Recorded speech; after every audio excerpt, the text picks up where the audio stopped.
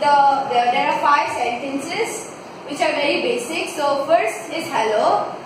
To say hello in Malayalam we say namaskaram. Namaskaram. Yeah. Next one. What is your name? You have to ask. Ning. Na. Lu de. Pe pe. En en da n നിങ്ങളുടെ പേര് എന്താണ് Once more, നിങ്ങളുടെ പേര് എന്താണ് Now suppose your name is Lakshmi. Uh, to say my name is Lakshmi, you have to say എന്റെ പേര് പേര് ലക്ഷ്മി ലക്ഷ്മി എന്നാണ് എന്നാണ് Next, how are you? To say that സുഖമാണോ സുഖമാണോ Next is I'm fine.